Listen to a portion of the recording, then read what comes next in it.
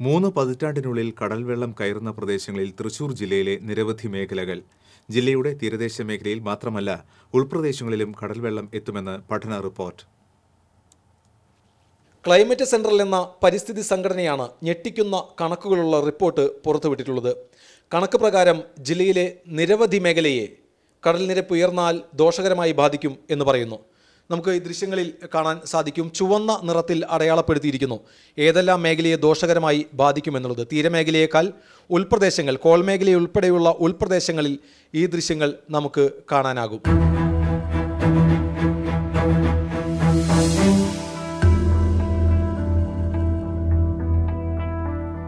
കടൽ വെള്ളം കയറി താമസയോഗ്യമല്ലാതാകുന്ന ജില്ലയിലെ ഭൂപ്രദേശങ്ങളുടെ സ്ഥിതിവിവരക്കണക്ക് ഞെട്ടിക്കുന്നതാണ്. കൊടുങ്ങല്ലൂരിലെ ചില മേഖലകൾ പറപ്പൂർ വെങ്കിടങ്ങ് അരിമ്പൂർ പാറളം ചേർപ്പ് ചെറുചേനം അമ്മാടം പഴുവിൽ അടാട്ട് മേഖലയിലെ ചില പ്രദേശങ്ങൾ എന്നിവിടങ്ങളിലെല്ലാം കടൽവെള്ളം എത്തുമെന്ന് പഠന റിപ്പോർട്ടിൽ പറയുന്നു.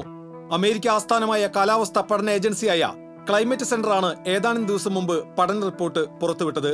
കൊച്ചിയിലെയും കോട്ടയത്തെയും ചില മേഖലകൾക്കപ്പുറം തൃശൂർ ജില്ലയിലെ വലിയൊരു ഭാഗം ഭൂപ്രദേശങ്ങളിൽ കടൽവെള്ളം എത്തുമെന്ന കണക്ക് ഞെട്ടിക്കുന്നതാണ്. മൂന്ന് പതിറ്റാണ്ടിനുള്ളിൽ കടൽവെള്ളം ജില്ലയിലെ താഴ്ന്ന ഈ പ്രദേശങ്ങളിൽ എത്തുമെന്നാണ് പഠന റിപ്പോർട്ട്. മൂന്നര ഇഞ്ച് മുതൽ മുപ്പത്തിനാല് ഇഞ്ച് വരെ കടൽ നിരപ്പ് ഉയരുമെന്നാണ് റിപ്പോർട്ടിലുള്ളത്. അതായത് ഏകദേശം മൂന്നടി വരെ. ഒരു വർഷം മുമ്പ് കേന്ദ്ര പരിസ്ഥിതി മന്ത്രി മഹേഷ് ശർമ്മയും ഇതേ വിഷയം ലോക്സഭയിൽ ഉന്നയിച്ചിരുന്നു. Indian national centre for ocean information സർവീസസിന്റെ പഠന റിപ്പോർട്ടാണ് അന്ന് കേന്ദ്രമന്ത്രി പുറത്തുവിട്ടത്. കടൽ നിരപ്പ് ഉയരുന്നതോടെ താഴ്ന്ന മേഖലയിലെ കൃഷിയിടങ്ങൾ നശിക്കും. കുടിവെള്ളത്തിൽ ഉപ്പുവെള്ളം കലരുന്നതോടെ ശുദ്ധജല ക്ഷാമത്തിനിടയാകും ചില മേഖലകൾ താമസയോഗ്യമല്ലാതാകും. ഗുരുതരമായ സ്ഥിതിവിശേഷമാണ് മൂന്ന് പതിറ്റാണ്ടിനുള്ളിൽ കോൾ മേഖലയിൽ ഉൾപ്പെടെ നാട് നേരിടേണ്ടി വരിക. ഇതിനെ അതിജീവിക്കാനുള്ള പഠനവും പ്രതിരോധ പ്രവർത്തനങ്ങളും അടിയന്തരമായി ആരംഭിക്കേണ്ടത് അനിവാര്യമാണ്.